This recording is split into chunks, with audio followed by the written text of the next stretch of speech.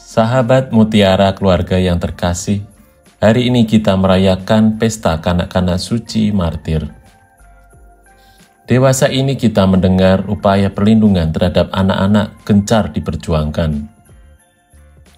Karena berbagai faktor, kepentingan dan keinginan orang dewasa, sering kali anak-anak menjadi korban.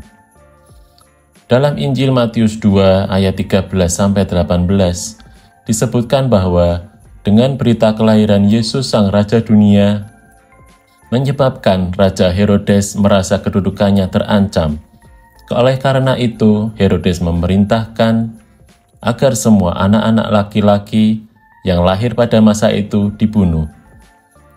Allah mengetahui rencana jahat Herodes, maka ia mengutus malaikat dalam mimpi Yusuf untuk lari ke Mesir, menjaga dan melindungi putranya dari pengejaran Herodes. Anak-anak adalah masa depan bangsa dan gereja, karena itu mereka harus dilindungi dan dipersiapkan agar bertumbuh dalam terang kasih Allah dan kebenaran.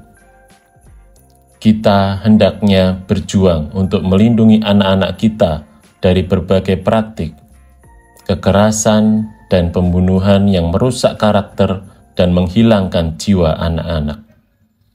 Semoga anak-anak ini bertumbuh dalam kegembiraan terang kasih Allah dan kebenaran, agar kelak mereka menjadi putra-putri yang baik dalam keluarga, gereja, dan masyarakat. Saya Arianto Wibisono, salam sukacita kasih.